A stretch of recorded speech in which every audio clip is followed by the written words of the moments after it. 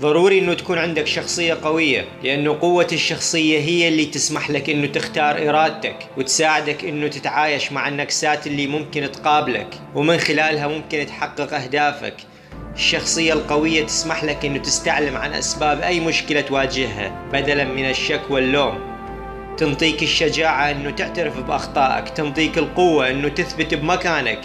مهما الدنيا دارت. الشخصية هي مجموعة صفات جسدية ونفسية موروثة ومكتسبة بالإضافة إلى العادات والتقاليد والقيم والعواطف وتفاعلها فيما بينها. كل واحد ينولد عنده مجموعة طباع شخصية مميزة وهناك شخصية قوية وأخرى ضعيفة. شلون تكون شخصيتك قوية؟ لازم تكون عندك مقدرة على التحكم على الغريزة والتحكم في كل الإغراءات طوال الوقت. تحرر من تحيزك العقلي تعاطف مع كل الناس تسامح مع الكل. التسامح أبد ما كان ضعف. التسامح مصدر قوة العفو عند المقدرة. دور على الحقيقة. الشخصية القوية تدرس كل شيء بالعقل بلا تحيزات. صاحب الشخصية القوية يحل المشاكل باستخدام الأدلة والإثباتات المنطقية والواقعية بدل من التفاهات والفوضى. لا تكون لا متشائم ولا متفائل إنما كون قيادي. عد لنفسك العدة في مواجهة الأسوأ.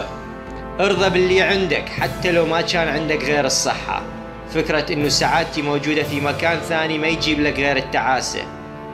لا تفرض إرادتك على أحد ولا تسمح لأحد يفرض إرادته عليك. خليك واعي لفكرة إنه الناس مو سوى اللي يفيدك مو شرط يفيد غيرك.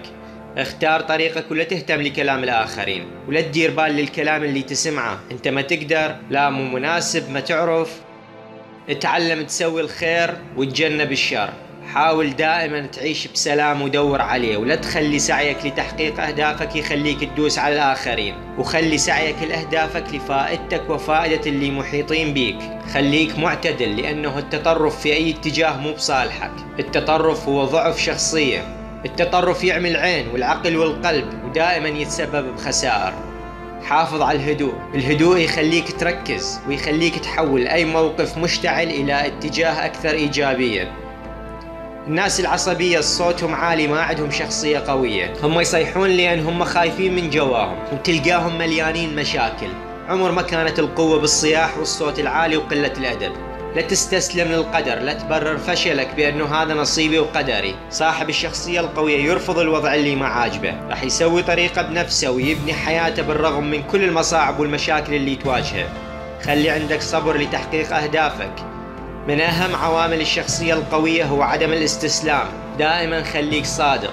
انجح في كل مكان تروحه واعمل أقصى جهد واشتغل بضمير وخليك قدوة وتجنب الكسل. ولازم تقدر وقت فراغك واستغله بإيجابية.